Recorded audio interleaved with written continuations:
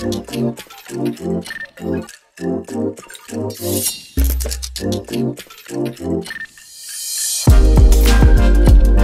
you.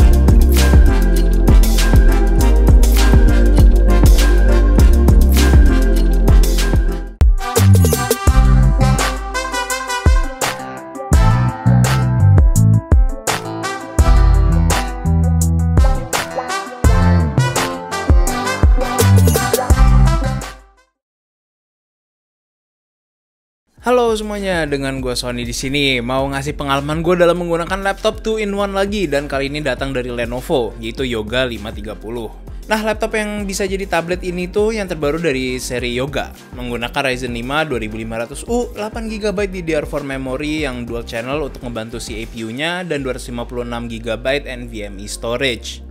Jadi penempatannya ini tuh ada di mid range dan bersaing dengan yang menggunakan i5 8250U atau ya sesama Ryzen yang 2700U atau 2500U lainnya. Kalau kalian lihat ini laptop itu masih rada-rada mirip dengan seri pendahulunya.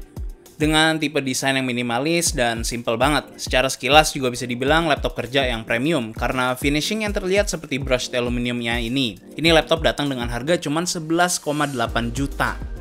Jadi dari segi fitur dan desain tergolong murah ini laptop 2-in-1-nya.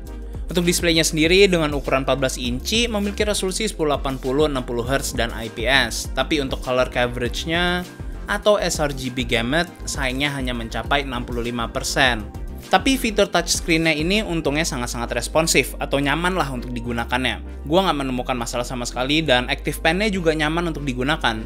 Jadi second nature setelah beberapa saat menggunakannya. Untuk doodling dan mencatat ini cocok banget apalagi untuk menandatangani suatu dokumen. Tapi untuk kalian yang pro dan biasa menggunakan Wacom jangan disamakan juga karena memang beda.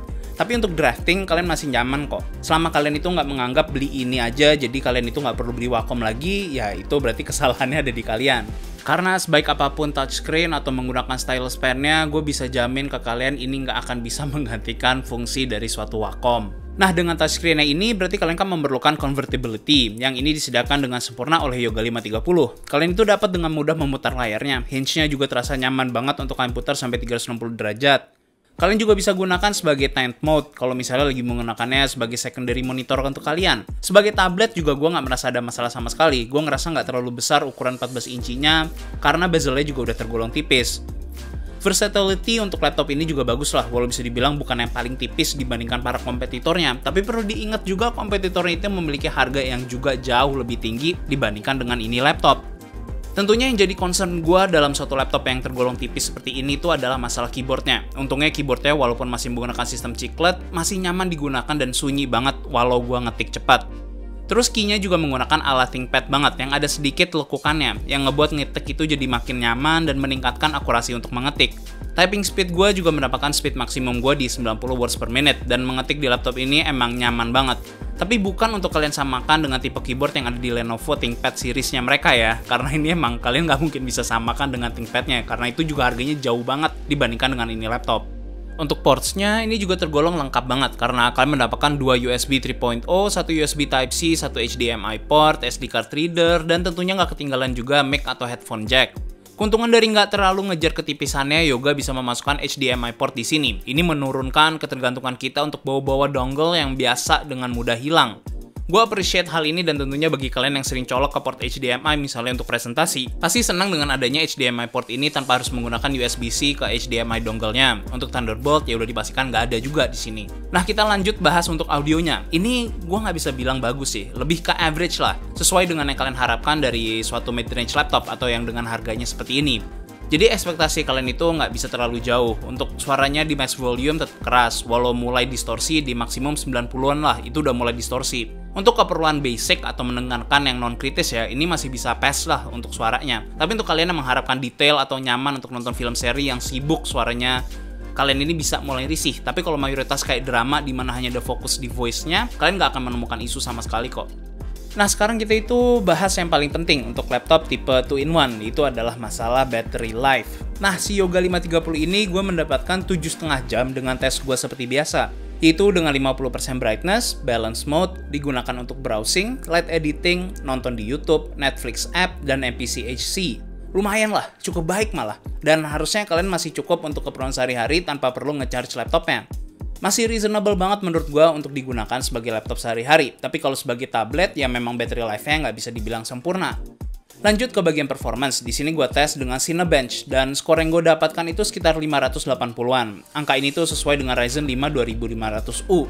Dan ini gue temukan cukup stabil performance-nya, turun ke 520-an dan paling mentoknya itu di 480 itu terburuknya di ruangan yang non AC. Jadi cooling performance-nya ini sangat baik. Kalian nggak perlu takut masalah laptopnya itu digunakan untuk rendering karena sangat-sangat capable untuk melakukan itu. Nah, kalau kita ngebahas gimana performanya untuk gaming, nah ini sesuai dengan laptop lain yang menggunakan Ryzen 5 2500U.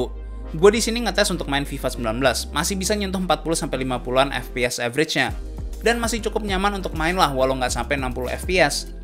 Kalau untuk game-game esports ya kalian mau ngejar 60 fps itu masih gampang banget apalagi kalau kalian itu main di resolusi 720. Jadi tinggal pintar-pintaran kalian aja untuk ngatur grafik preset kalian aja dan kalian masih bisa light gaming di laptop ini kalau lagi bosan.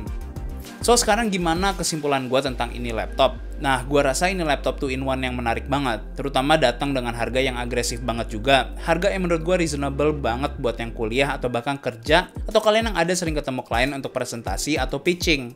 Ini pilihan yang cocok karena stylus itu bisa berguna banget bagi kalian. Untuk anak desain juga cukup ngebantu kalau ada beberapa yang harus kalian ubah saat kalian di luar atau sekedar doodling ide kalian di laptopnya. Tapi harus gue ingatkan kepada kalian, color gamutnya ini cukup rendah dan untuk screennya emang nggak terlalu bagus reproduksi warnanya. Bukan dalam artian ini bener-bener jelek sampai unusable ya guys, tapi gue mengharapkan lebih vibrant aja dan untuk brightnessnya itu kurang terang di laptop ini. Di sini kita bisa lihat dengan laptop 2-in-1 lainnya. Reproduksi warnanya itu memang berbeda dan tingkat keterangannya juga, dan gue rasa ini lebih rendah daripada 300 nits.